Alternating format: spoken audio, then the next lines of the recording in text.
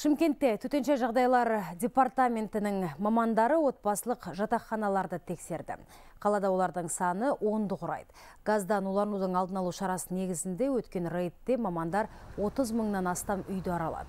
Негізінен бұл баспаналардың тұрғындары орталық газ құбырына қосылмаған. Сондықтан да олардың дені бөлмеде газ баллон пайдаланады. Бұл қайғылы оқиғаға әкелуі мүмкін екендігін құтқарушылар халыққа жеткізді. Биылғы жылы қалада өрттің саны артқан дейді төтеншеліктер. Жалпы жыл басынан бері 166 өрт тіркелген. Бұл 2018 жылмен салыстырғанда 26 бүтін оннан 2 процентке өсіп отыр.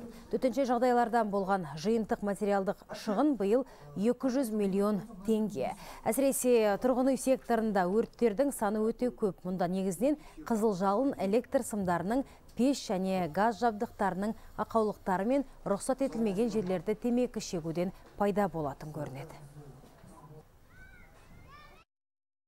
2019 жыл мен 18 салыстырғанда 9 айлығында 28 пайызға өрттің саны өтіп көтерілген болатын.